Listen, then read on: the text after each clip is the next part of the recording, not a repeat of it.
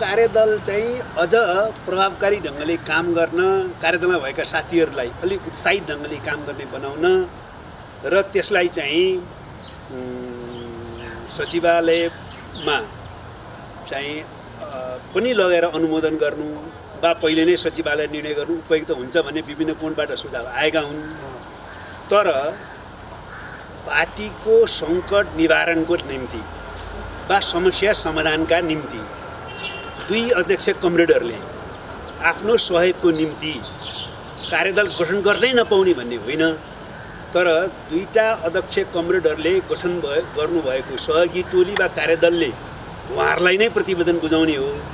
त त्यसलाई अझ व्यवस्थित गर्न र सचिवालयमा प्रतिवेदन आउने भएको कारणले उहाँहरूको निर्णयलाई सचिवालयले अनुमोदन गर्नु राम्रो हुन्छ भनेर आज अनुमोदन गरिएको हजुर प्रधानमन्त्री त पाँच दिन समय सीमा दिनुभएको थियो सकियो कति दिनमा टुङ्गिन्छ अब विवाद यो हाम्रो ध्यान चाहिँ छिटोभन्दा छिटो सकारात्मक ढङ्गले समाधान हुने पार्टी एकताबद्ध हुने सङ्कटको निकास निस्कने पार्टी र सरकारको कामहरू प्रभावकारी ढङ्गले अगाडि बढ्ने र महाधिवेशनको तयारीमा जाने कुरातिर केन्द्रित छ।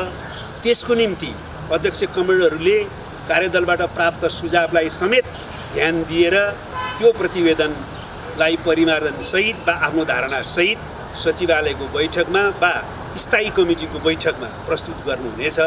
त्यसको प्रतीक्षामा हामी छौँ। अध्यक्ष कमरेड केपी शर्मा ओलीले भन्नुभए अनुसार नै समयमै पहल कदमी भएको छ। काम अगाडि बढेको छ। त्यसप्रति नै सन्तोष गर्नुपर्ने हुन्छ। केही दिनभित्रमै निकास निस्कने कुरा र निष्कर्ष निकाल्ने कुरामा हामी विश्वस्त छौँ। हजुर मन्त्रीमण्डल पुनर्गठन त्यस्तै गरी मुख्यमन्त्री पुनर्गठनको एकदमै चर्चा छ। होइन यसै साथ पनि मन्त्रीमण्डल पुनर्गठन हुँदैछ भन्ने कुरा छ जस्तै यो कार्यदललाई चाहिँ एउटा देखाउनको लागि मात्र भित्रभित्र नेताहरू सहमति भइसक्यो औपचारिक दिनको लागि मात्र हो भन्ने छ। त्यो हुन्छ त्यस्तै हो। मलाई त थाहा छैन। तपाईँ अलिक उत्साहित पनि हुन्छ। कार्यदलको रिपोर्ट आएपछि मात्रै पहिला वैचारिक नीतिगत विधिगत पद्धतिगत र अरू विषयहरूमा एउटा निष्कर्ष निकालेपछि मात्रै त्यस मातत अरू निष्कर्ष निस्कने हुन्।